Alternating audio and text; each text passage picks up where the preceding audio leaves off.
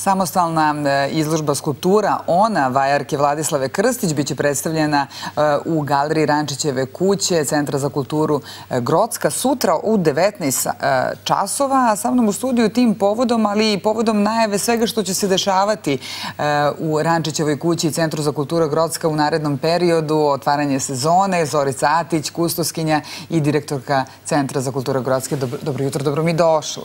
Dobro jutro, bolje vas našla. Hvala na pozivu i lepo je opet biti ovde kod vas. E, pa drago mi je. Evo sada, e, Zorice, najpre da čujemo nešto o otvaranju ove izložbe i o e, umetnici, a onda idemo redom da najavimo e, tu prelepu sezonu na, ja bih rekla, jednom od najlepših mesta i možda i jednoj od najlepših galerija za izlaganje. Hvala, hvala najlepše.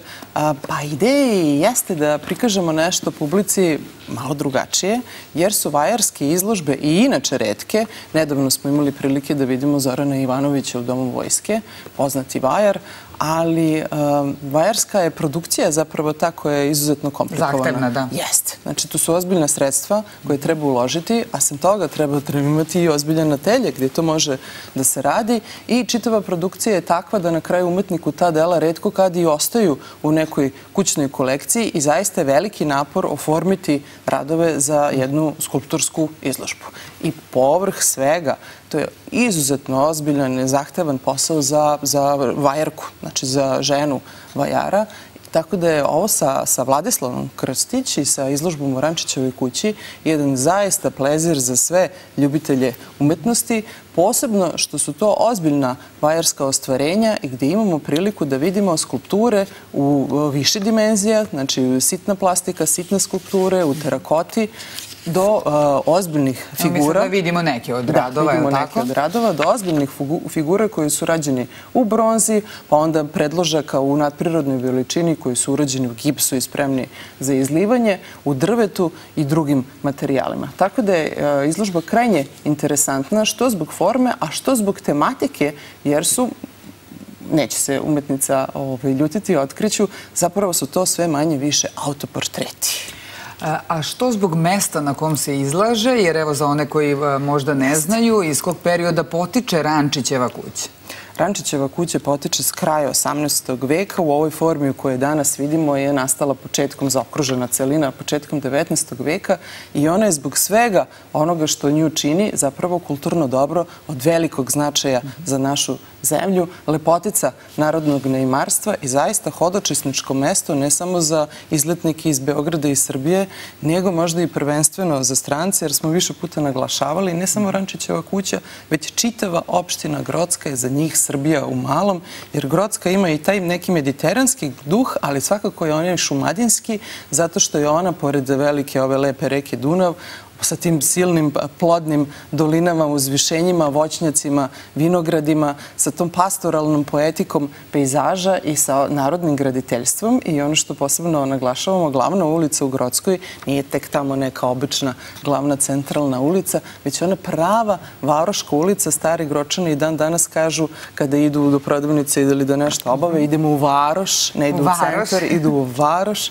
I e, čitava ta ulica je takođe zaštićena ambijent monumentalna celina, zove se Gročanska čaršija i ona u tih nekih svojih tristotinak metara i dalje čuva duh tih starih srpskih varoši. I ono što je onako, da kažemo, zaverovali ili ne, Gročanska čaršija je zaštećena odmah nakon Mihajlije, Mihajlove ulice u Beogradu i po svom zapravo značaju, jer je takođe od velikog značaja prostorno-kulturno-istorijska celina za našu zemlju, je značajnija od Skadarlije. Ona je u rangu sa Kosančićevim vencom i sa starim jezgrom Zemuna. Tako da je ova izložba na vrlo posebnom mestu, jer je i Rančićeva kuća zapravo jedno vajarsko, maltene, skulpturalno delo. Skulpturalno delo. Tako, da. već samo po sebi deluje. I ako pogledamo, popnemo se, jel tako, na onaj vrh gde se nalazi onaj e, čuveni restoran, bio je među omiljenima e, druga Tita, jel tako? Tako je. Da, e, onda ćemo videti onako vinograde, jedan pogled upravo na Dunav koji je tu veoma širok i pomislit ćemo da se nalazimo u Toskani, ali ne u Srbiji 意思吗？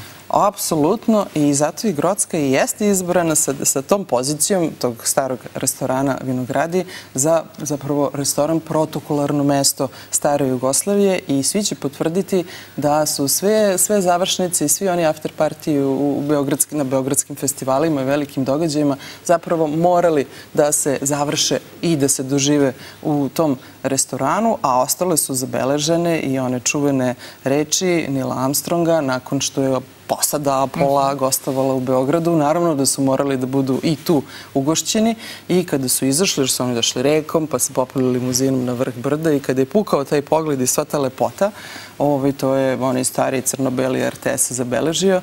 Ovo čovjek je rekao najlepši mogući kompliment, da je odatle lepši pogled nego sa meseca. Nego sa meseca. Pa to je, da, rečenica koja je ušla u istoriju. E, da čujemo nešto više Zorice i o samoj umetnici Vladislavi Krstić pre nego pređemo na e, druge događaje u e, Centru za kulturu Grodska. Umetnica je nagrađivana Znači, e, kvalitetan vajar, neko ko je završio ovaj naš državni vajarski odsek, što je takođe reprezentativno i preporuka sama po sebi i a, a, višestruko je nagrađivana. Neki njene skulpture se nalaze i u javnom prostoru, a izložba, upravo zato što se bavi ženom, se zove Ona – Tako da su uh, ženski portreti, ženski torzoji, uopšte uh, sva je skulpturalna plastika posvećena ženi i uh, preveva ta fina emocija kako je žena u, osnovi i u isto vreme i nježna i snažna i krhka i nesalomiva. Tako da preporučujem posetu izložbi, jer izložba traje, traje do 13. maja. Do 13. maja. Inače, izložbu otvara istoričar umetnosti Oliver Tomić. Tako je, taj će događaj sutra zapravo za sve ljubitelje umetnosti vrlo poseban biti pa nekako neka uklope i posetu u Grodskoj i možda od nekih, nekim tim mestima koje smo pominjali, našim lepim pejzažima, ali svakako preporučujemo da ne propuste događaj koji će otvoriti Oliver Tomić, čuveni istoričar umetnosti, to je čovek koji pleni svojim uh, predavanjima, svojim govorima, jedno uh, zaštitno lice, da kažem, i mnogobrojnih kulturnih TV serijala, moj profesor nekadašnji. Sjajan, sjajan čovek, poznavalac i stručnjak, izuzetan erudita. A imat ćemo i goste iznenađenja. Evo, otkriću detalj. Otac Vladislave Krstić je poznati džez pijanista Miloš Krstić koji će sa, da kažemo, par prijatelja upriličiti sutra, pored nastupa naše o, mladih nada muzičke škole, jedno, da kažemo, uživo o, džez veče. I sada kada si, e, bit će zaista sjajno, dakle od 19 sati sutra sigurno gužva, svečano otvaranje, ali evo čuli ste do 13. maja je moguće posetiti izložbu, idu praznici, bit će i tih neradnih dana, pa iskoristite priliku, zašto da ne. Ali e, sada si spomenula, Zorice, i te e, ture, ako dođete pa napravite turu po Grodskoj, ja znam da ste i vi svoje vremeno organizovali vrlo zanimljive i edukativne i zabavne i sjajne ture kako da se upozna i okolina, ali i sama Rančićeva kuća kuća. Da li ćete nešto slično organizovati i sada i u ovom narednom periodu? Hoćemo, planiramo za promovajske praznike, prosto čekamo i malo, da kažemo, i lepo vreme, ali se ljudi mogu i sami javiti. Ako idu sa grupom prijatelja i tako redom, jave se Centru za kulturu mm -hmm. Grocka i mi njima nešto upriličimo, posavetujemo, damo smernice, kreiramo maršrutu. I onda što... se tu spoji nekako istorija, kultura, priroda, društvo. Lep ugođaj jer nekako vikendima i praznicima manje više većina Beograđana postanu gročani.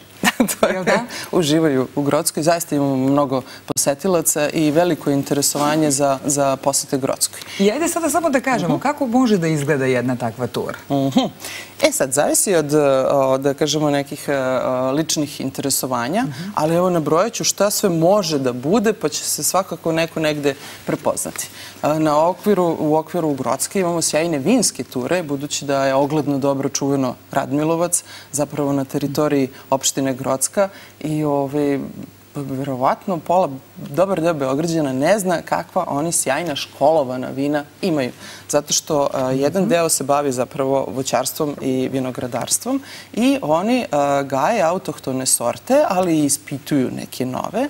Tako da a, imaju izuzetnu ponudu vina koja su po vrlo povoljnim cenama, ali su, kao što rekoh, znači, o, o, prosto školovana vina koje su pažljivo sortirana, ispravljena, a sva imaju i slatka, slatke nazive po akademskim titulama. To su mentor, rektor, indeks, legat i tako redom. A drugi deo oglednog dobra predstavlja ono, ono, ono čuveni projekat Mali Dunav, gde zapravo čovek može čitav dan da provede obilazeći raznorazne zanimljive sadržaje, uključujući i selo preistorijskog ribara. Mm. Imamo i organsku vinariju na teritoriji opštine Grocka koja takođe prima posetioce. Imamo konječki klub, manastir Rajnovac, O Rančićevoj kući smo već pričali, tu uvek ima šta da se i vidi i čuje, nova izložba, divna bašta, lep razgovor sa kustosom ili sa već nekim ko je tu prisutan, nekada je i umetnik prisutan, Gročanska čaršija sa svojim malim radnjicama, lepim kafejima, restoran Vinogradi, Dunavski kej u Grocskoj takođe imamo šetalište, splavove, nautičare i tako redom svako će nešto pronaći, ali ljudi najčešće izaberu dve, tri neke lokacije koje im se najviše dopadaju. Bijelo brdo arheološko nalazište je mhm. jedno od ovako vrlo, vrlo interesantnih i da preporučimo neizostavnih lokacija koje što više, ne više u stvari i stranci i posećuju. Da, i evo suština je e, dakle, e, da se zaista kod vas mogu informisati sve ovo što je nabrojeno. Verujem da e, većina ljudi ne zna baš da sve to može da se poseti i vidi u, u Grodskoj, ali uvek je otvoren, je tako, Centar za kulturu Grodska, za, Grodska za informacije i za preporuku šta se može videti i u kom periodu je najbolje šta posetiti. Tako je. Idemo dalje za, sa programom Zorice. 1. i 2. maja, da znate, mi smo otvoreni otvoreni, radimo, a, prosto idemo sa idejom kada, kada su ljudi slobodni, pa gde će da budu slobodni nego negde, jel, kao što je Rančićeva kuća, kao što je mhm. Grocka, jer pretpostavljamo da će svi hrliti u prirodu da se malo nadešu vazduha i nadamo se lepom vremenu.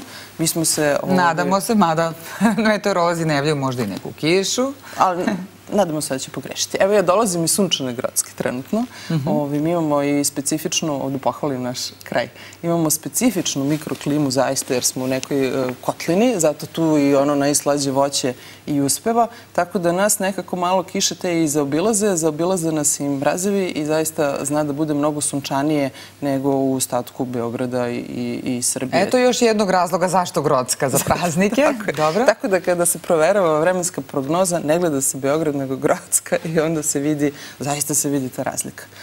mi smo se u prethodnom nekom periodu malo igrali na temu ove lepote našeg mhm. kraja, u stvari Gročanskog, pa smo imali jedan lep dečiji konkurs koji se zvao Pošalji razglednicu u svet, Grodska kraj Dunava. I evo, ja sam ponala nekoliko razglednica. Bila je to su deca radila, To su deca radila, jeste. I nekako je ideja bila da, ovi, ne znam da li možemo možda može, da vidimo. Može, Evo, vinčanska, vinčanska figurina, ali u ovom dečijem stilu potpuno preslatko, sa crkvom, sa suncem, sa Dunavom. Ove, ideja je bilo da se deca ove, da kažem, malo a, a, razgledaju i zainteresuju malo više da upoznaju svoj kraj, jer ako oni ne znaju, kako će preneti drugima. Mm -hmm. I da malo se inspirišemo i onim starim unicefovim razglednicama, sećamo se svi njih Ko, ko uzrasta su deca? O, mislim, fantastične Evo, Ovo su različite, različiti uzrasti. Ovo je predškolac. Ove... Deca sa izuzetnim umetničkim talentom, moramo da priznamo. Znači, uzrast, e, po kategorijama je išao konkurs i trudili smo se da obuhvatimo praktično svu decu, od predškolaca do srednjoškolaca, jer između ostalog, evo ovde ponala sam još jednu, ove, ima ih više, između ostalog, Grocka je, sem što je ovako po trajanju jedna od najstarijih beogradskih opština, s druge strane je među najmlađima zato što imamo mnogo dece. Mnogo škola, mnogo dece, mnogo vrtića. Pa to je najlepša vest koju možemo danas da, da čujemo, s obzirom na da. to da slušamo kako nestajemo, jel?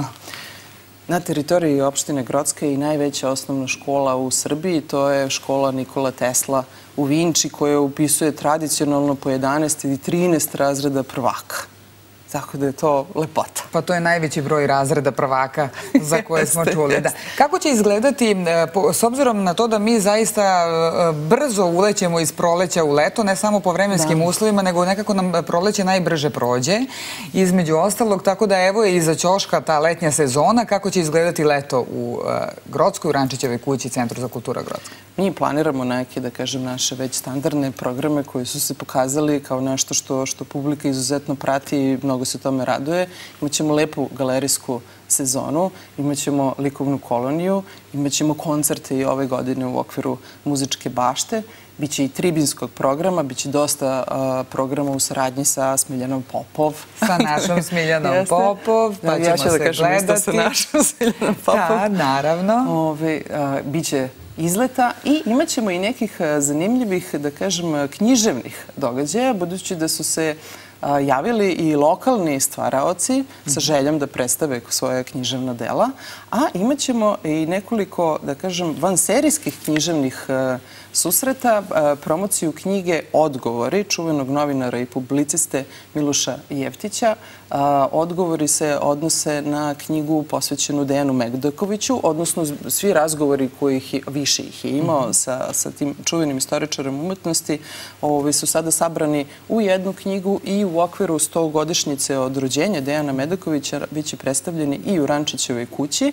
A naravno, a, Grocka je ta, ta tajna veza. Porodica Medaković je imala i još uvek ima letnjikovac u Grockoj i ono što je malo poznato, taj čuveni akademik je zapravo mnoga svoja dela pisao u Grockoj s pogledom na Dunav i zato ćemo tu knjigu i promovisati u stvari u Rančićevoj kući. E, Zorice, kada si rekla e, da veliki broj Beograđana vikendima dođe u Grocku, neki imaju i e, vikendice tamo, pa dođu na, na, na jel vikend, ali s obzirom na to da je nekako taj trend preseljenja iz centra grada odavno, pogotovo od korone, stupio, jel, i veliki broj ljudi se opredeljuje koji jesu u mogućnosti da se sklone malo negde sa strane, da žive malo mirniji život, pa i zdraviji, u zdravijoj okolini. Grocka to svakako jeste. Da li ste primetili da se i Grocka naseljava u tom smislu?